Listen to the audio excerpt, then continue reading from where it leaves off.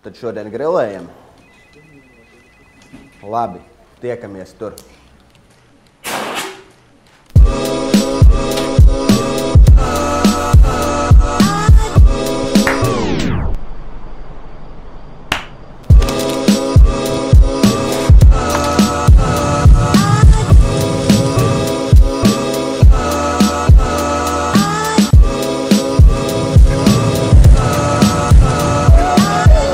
Nesadedzini savu desu.